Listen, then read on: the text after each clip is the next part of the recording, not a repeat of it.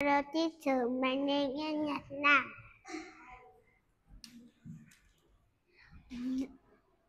Our drive. Our